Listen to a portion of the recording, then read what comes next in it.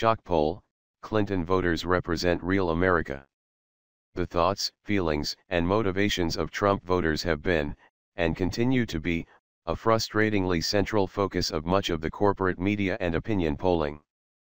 But one polling outlet finally offered up a similar examination of Americans who supported, in the pollster's own words, the top vote getter. With much of the corporate media hyper-focused on the supposedly forgotten Trump voter and what they think about how Donald Trump is doing, it is easy for those who voted for the candidate who actually won the popular vote by over 3 million votes to feel ignored. One might even say forgotten. But public policy polling decided to remedy that with a poll taken solely of people who voted for Hillary Clinton.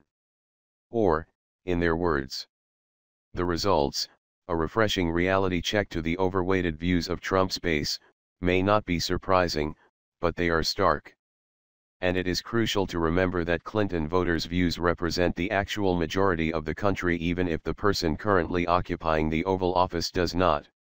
We already knew that Trump has rock bottom, record low approval ratings from the nation as a whole. And the numbers get even worse in PPP's results. 88% of Clinton voters disapprove of Trump's performance as president, with only 6% approving, while 89% of those voters have an unfavorable opinion of Trump overall, with only 7% holding a favorable opinion. Even more cutting, a mere 2% of Clinton voters say that Trump has made American great again, while 93% say he has not ubiquitous red hats notwithstanding. And 70% of them support impeaching Trump, with only 15% opposing the notion. On domestic issues, Clinton voters unsurprisingly and overwhelmingly stand in opposition to Trump, 82% are against the Republicans' plan to repeal the Affordable Care Act, 92% oppose building an American taxpayer-funded wall on the Mexican border, and 90% want Trump to release his tax returns.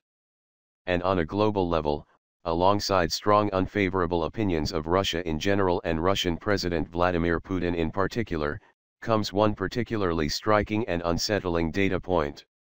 A statement like that made during the campaign may have been seen as so much hyperbole, a liberal exaggeration of conservative hawkishness. But now, on Trump's 100th day in office, and in the midst of growing bluster regarding North Korea, it seems as realistic as other pre-election concerns, like a ban on refugees and attacks on women's rights, have proven themselves to be. Despite representing the true majority, Clinton voters' warnings were not heeded before, but their energy and eagerness to resist are still loud and clear. 82% are either very or somewhat excited to vote in the 2018 midterm election and 85% are planning to vote for Democrats in their district. Coupled with the thousands of women newly planning to run for office themselves, it is clear that Clinton's supporters despite the corporate media's consistent disregard and dismissal of them are not finished with the work that her historic campaign began.